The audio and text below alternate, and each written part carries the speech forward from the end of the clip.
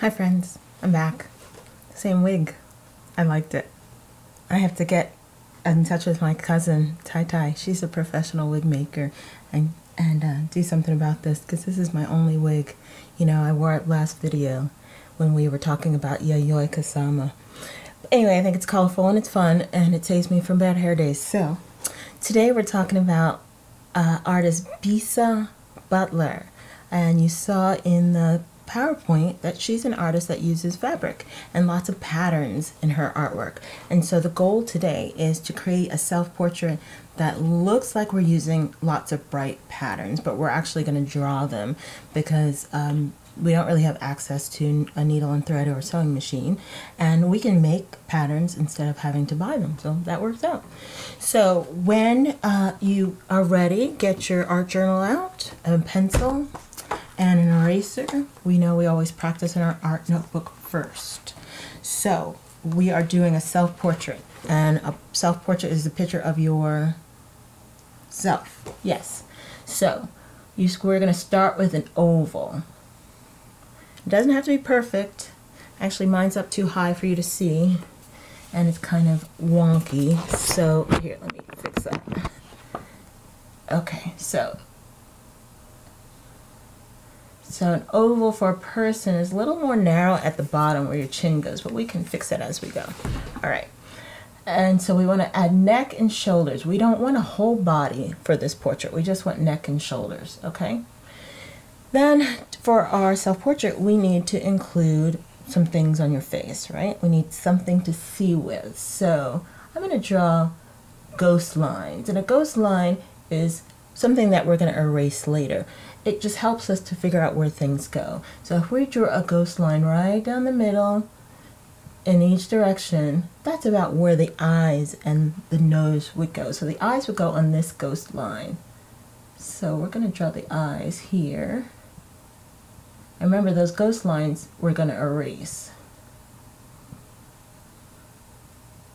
So now we can erase those ghost lines we don't need them anymore. Okay, and we know the nose goes here, so we can erase that ghost line, and the mouth is going to go here. Now it looks like my person has a giant forehead, right? I'm going to bring the nose down a little bit. But most of your hair is covering this up, so let's pretend I have on my crazy rainbow wig, my ears. So I have my crazy rainbow wig on. Alright, so that covers up most of my head. Got my eyebrows. Now for me, if it's a self-portrait of me, I'm going to add some earrings and my glasses. Starting to come along, yeah? And I have a plain shirt on, but I want to add some patterns, right? Because what Bisa Butler was about adding lots of rich fabrics from her culture. Remember, her father was from Ghana. So, from her culture and from African American culture of quilting. So, we want to add lots and lots of patterns. So, I'm going to show you the one that I did before, earlier. So, I started with the same idea lines and then I added lots of patterns. Look at that, a ton of patterns.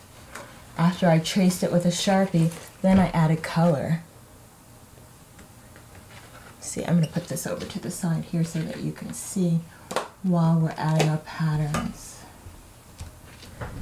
So, what kind of patterns can we add? Well, if you look at some of her pieces, she has big, big patterns, big chunky patterns. So I like the, when she, the ones where she had the big fruit pattern. So you could add big fruit on yours if you like, or big stripes, any kind of patterns. You notice I added some cherry patterns on mine because, you know, my last name's Cherry. But uh, I'm going to divide my shirt up into a few spaces so that I can have lots of different patterns on my shirt. Gonna add some depth to my earrings. And let's see, what could we add to the background? What do you think? What kind of shapes, what kind of patterns would go really good. Now remember, I'm probably to do my hair in rainbow order. So I need to add the stripes for the rainbow order, right? So probably not a striped pattern. And we just did dots with Yayoi Kusama, so I don't want to do that. So maybe I could do the oranges again. Oh, that's kind of like the dots, huh? Well, that's okay. So we'll do the oranges again. So they started with circles. And some of the circles were behind me that you couldn't see. And the circles within circles. But you can do any kind of patterns that you want. You know, a pattern is just a line or a shape that repeats itself. Patterns can be regular or irregular. So in this pattern, I'm going to do lines in opposite directions. That's one of my favorite patterns, actually.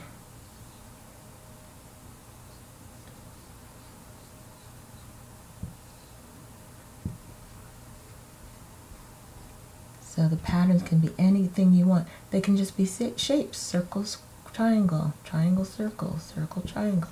And you're going to fill up the space with your patterns.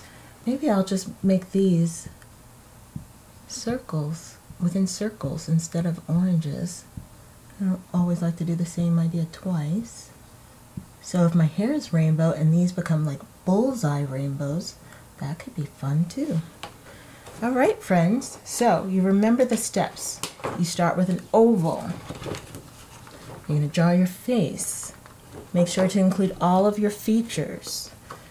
Eyes, nose, mouth, ears. You want to include your mood. How are you feeling? Happy, mad, sad, glad, scared, angry, bored, ready to get back into the building. You're going to add patterns. You're going to trace with a black marker or a Sharpie. If you're not using markers, you can trace with a black crayon.